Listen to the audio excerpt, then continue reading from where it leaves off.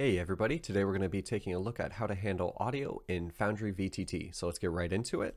Uh, over here in the right hand sidebar, we've got our audio playlist section, which is third from the right uh, with this little music icon. And we see already that we've got some settings we can consider. We've got global volume controls, which cover playlist, ambient, and interface. Now these are three different kind of sources for sounds in Foundry uh, that you can control kind of their max volume of. So let's take a look at what each type of sound is, and that should help clarify it a little bit. So first off, playlists are uh, created in this sidebar uh, with the create playlist button and this slider will control their kind of max volume relative to the ambient and the interface sound. Now, what are the ambient and the interface sounds? Uh, ambient sounds are actually sounds that we've made over here in the left-hand sidebar using the ambient sound controls option. This works a lot like how lighting works in Foundry VTT in that you can drag out a circular uh, selection and it will be blocked by walls, uh, but it doesn't necessarily have to be. So if I release this, uh, we can see that we have two sound types, local and global. So if I change this to global, it will ignore walls and it will play everywhere, just like global light. Uh, and we also have some other options that we'll get to in a second. Uh, but I'm going to go ahead and close this. So this is our, uh, these are sound effects that if your player were to move into them, they would uh, hear sound effects just defined within that area, which is really cool. Uh, but we're going to go ahead and close this right now. Uh, that'll go away and we can look at what interface audio is. And those are sound effects that uh, your players might make by interacting with something in Foundry VTT, like coming up to the door lock, uh, a door that's locked and clicking on it and you get that sound effect so you can control its maximum volume as well. And it's by default a little bit lower than the others because normally the ambiance and the playlist music is a little bit more uh, important and a little bit more forward. Um, but anyway, let's go ahead and take a look at creating our first playlist and see how kind of all these sound files interact with each other. So we can create a playlist and I'm going to name this one suspense or actually no spooky is a better fit and we see already that we've got an option for shuffle tracks uh, this will shuffle all of the tracks uh, so we can hit create playlist we have an empty playlist now and we have this edit option where we can edit the playlist that we just created. We can hit add sound. We can delete the playlist entirely. We can change the playback method of the playlist, or we can just play the playlist. So the playback methods are actually more than just sequential and shuffle as you might think. So there's sequential playback where it plays everything in order. There is shuffle tracks where it plays things in a random order. But if we click again, we can see that we've got simultaneous playback. So if you've got a playlist where it's forest sounds mixed with an occasional bird that caws that also has occasional pitter patter of footsteps or something like that, and you want to play all of them at once uh, when a scene starts, you can do that, which is really cool. Uh, and then we also have this soundboard only option, which basically disables the play button over here so you can't accidentally play everything all at once or, or anything like that. And you can just go to the individual tracks and hit play. Uh, so let's actually change this back to sequential order uh, or shuffle because that's fine because this is just going to be a collection of spooky music that can play whenever we need a spooky feel. So let's go ahead and add our first track. We're going to name this one Spooky Ambiance. Uh, you probably wouldn't want to use this actual naming scheme, but uh, let's actually also quickly look at how I have my audio files set up.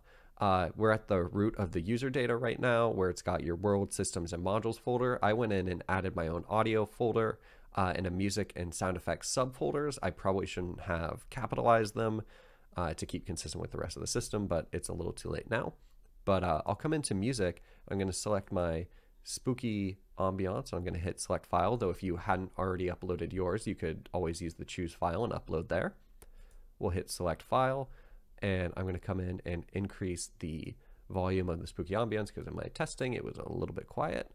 Um, and then we can also set it to repeat. And since uh, I don't have additional songs in this playlist right now for it to kind of go between smoothly, I'm going to set it to repeat. But if you had multiple songs, uh, it would probably be worth not having repeat on. So I'm going to hit update track and now that we have a sound file in here, you might remember from the map making video, or not map making video, map adding video, uh, that over in the scene directory, if you double click on the scene, you get the scene configuration tool, and there was an audio playlist option.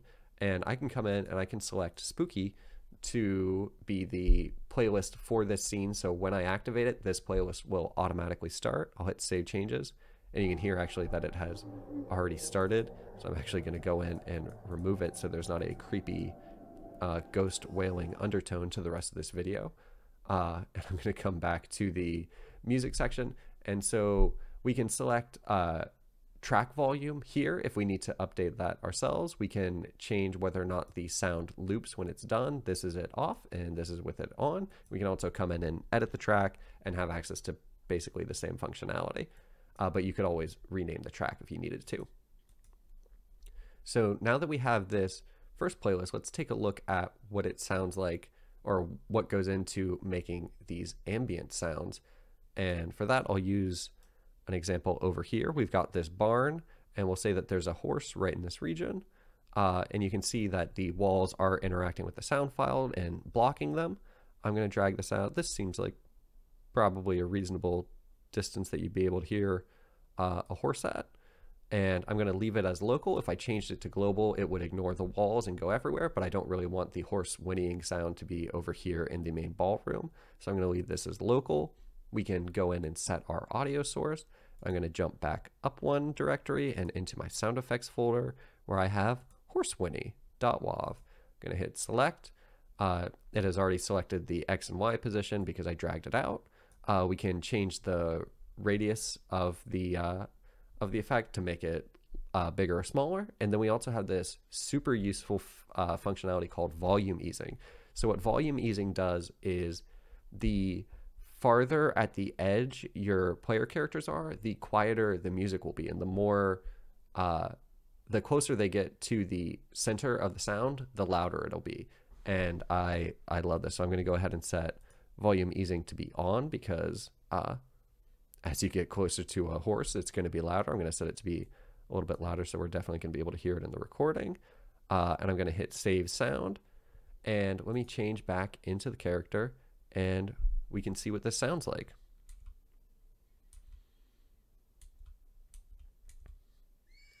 We can hear the winning start.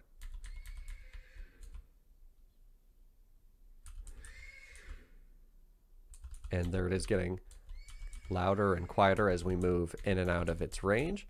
Uh, and so that's the basics of how ambient sound works. And we've kind of already gotten an example of interface sound, but let's take a look at putting together a soundboard because that'll be uh, pretty useful too. So we'll call this one soundboard. I'm not going to check shuffle tracks. I'm going to hit create playlist. I'm actually going to come in here and change this to be the soundboard only option. This isn't necessary, uh, but it is useful so you don't accidentally uh, butterfinger and and play a huge collection of, of sound effects all at once or something like that. Uh, so I'm going to go in and hit add sound and let's see which track we're going to add. We'll do uh, the weapon impact. That's a good one. Hit select and I'm going to make this a nice space and we'll say weapon impact, save. I'm going to increase the volume. And you see that if I click here, I can't automatically play them all. Uh, let's add another one. We'll do the spooky sting and click and select that, get it added in, increase the volume for that as well, hit update track. And this would be useful in a situation where you were running combat or something like that, and to add to some of your descriptions, you wanted to have some sound effects. So if you say, "Oh, Mac," as you swing your warhammer forward and you connect with uh, the armor of the creature in front of you, you can go ahead and hit that, and he blocks it with his sword and, and knocks you to the side or something like that. Uh, or if you have a situation where they're moving into a position with a ghost and maybe the ghost attempts to make a possession or something like that, if it's successful, you can punctuate your description with this creepy sound effect that hopefully adds a little bit more gravitas to the situation. Uh, and you just you just can keep adding more and more things to your soundboard. Uh, you can split the soundboard up into different playlists. So you could have like combat soundboard, uh, tavern soundboard, uh, where dice get rolled or something when they're playing a game with a bunch of tavern people or something like that. Uh, there's a lot of different options for it. And you can always minimize these so that they take up less space and you can get a, a closer look at what options you have. I'll go ahead and maximize them back out. Um, but one other thing to keep in mind is that if you are using this while you're running combat, if you right click on the audio playlist, just like the combat tracker, it'll pop out to the side and you can pull it over here and you can have quick access to your soundboard or to any other uh, sounds that you need. Uh, and you could have your combat tracker up here, keep everything in a nice line, uh, and you've got an awesome way to add some additional uh, spectacle to your fights. But let's actually go back and take a look at adding sound to a couple other places in this map just so that we get a better feel for how things can interact with each other all at once. So if I come back to audio uh, over here on the left hand side actually for ambient sound controls, uh, my plan for this encounter specifically was, and if Kyle, you're, if you're watching this, because I know you've gone into Foundry recently, do not keep watching because it has spoilers for the campaign, uh, to have a band up here on this stage. And I'm going to draw out the uh, sound effect of where they're going to be playing. And I'm going to come into my audio sources, back to music, and I'm going to select uh, Waltz of the Flowers by Tchaikovsky because it is uh, free to use and in YouTube's audio library. Uh, I'm actually going to use something different uh, for the actual game, but uh, that's okay. So I'm going to hit update. Um, going to increase the volume for it a little bit. I'm going to turn on volume easing because the closer you get to the band, obviously the louder it's going to be. Let's go ahead and hit save sound. I'm actually going to move this a little bit more central. There we go. And you see that the walls are interacting with it as expected, so no sound is leaking through. Uh, and if I go ahead and I, oh, still on the audio tool, let me change back to the basic controls and I bring uh, a player character in here. We hear the music lightly. And the closer we get to the center, the louder it is, and it's all working exactly as expected. Um, so let me come back out a little bit and we can look at adding another couple of ambient sounds. We'll just add one here, and this one's going to be in the sound effects, and we'll say that we've got this uh, fountain sound effect, and we're going to hit save, pull that there, and you can actually copy and paste these as well. So I'm just going to do that. Uh, so our players will be able to hear the fountains as they start moving through the map. Um, and then if we wanted to add additional uh, sound effects, we could come up and do a new playlist for, let's say, weather effects. We'll hit, uh, and this could actually be more specific weather effects like rain, so you could have a mixture of rain sounds, thunder sounds, uh, yada, yada, yada, but I'm just going to call it weather effects for right now. Uh, and hit add. We'll name it heavy rain one of the first QuickTime event video games, if I recall correctly. Um, but that's neither here nor there. Uh, we can select heavyrain.wav, uh, hit select file, increase the volume for it, and I'll go ahead and hit repeat track here since it's the only one that I have in there and I want it to keep going. I'm Actually going to turn it down a little bit. I think this was one of the louder files that I had. I'll hit update track. And so now uh, my thought is when this map first loads, I'll have the spooky track going and depending on what's happened recently in the game, if I need to add a little bit more effect to it, I might come in and pop on Heavy Rain. Yeah, that is one of the louder effects, at least in my ears, so I'm going to drop that down a little bit. It might not be as loud in the game, but you can hear that these sound effects are starting to layer on top of each other. Uh, and you can still have all of your soundboard sounds going like a weapon impact, or you can have your player still hearing the music.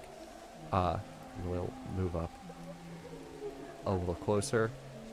And this song isn't always particularly loud, so I might actually come over and drop the volume on these so we can hear this as well. And actually, let me just click into it and I'll raise its volume up to max. And then we can have the rain a little bit louder and the spooky ambiance still going. And there we go. Now we have a little bit of the music coming in. Uh, we have the spooky ambiance going. We have the heavy rain effect going. And everything is great. And so if they were also in combat, we could start throwing in spooky stings and all that good stuff, weapon impacts, uh, and hopefully that should add uh, some interesting aspects to your games. Uh, one last note, actually, is that all of the sound files that I used in this video, other than Tchaikovsky's Waltz of the Flowers, are uh, available for free to use commercially, uh, without attribution, all that good stuff. Uh, there's a company called Sonniss. I think they're sonniss.com. If you check uh, Google for Sonniss GDC, you can find that for I think since like 2016 or something like that, they've yearly for GDC, the Game Developer Conference, been releasing these fully sound files and, and music files and, and stings and things like that. I actually found it originally because I was making short films and I needed sound effects for those, but it works just as well for D&D. Uh, so be sure to check that out. The one thing I would uh, warn you against is that all of these sound files have to be transferred out to all of your players. And uh, since they're designed to go into games and things like that, they're uncompressed because they anticipate you compressing them when the game is about to release or be published.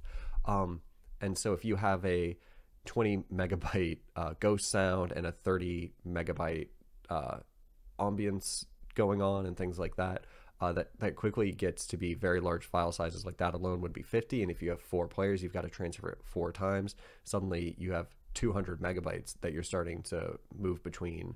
Uh, everybody off of your home connection or off of a VPS or whatever you're running uh, Foundry on, and that can get pretty heavy. So I would definitely recommend re-rendering them or anything like that to uh, to make sure that you're delivering reasonable sounds to your players. And one other thing to keep in mind is that I already opened up another scene over here, but if you come up to a scene that you're about to open and you hit preload, it will start transferring those things before you actually get to the scene. So when you hit activate, hopefully everything will already be loaded. So if you have a slower internet connection, uh, I would definitely recommend taking a look at that and and util- utilizing that functionality.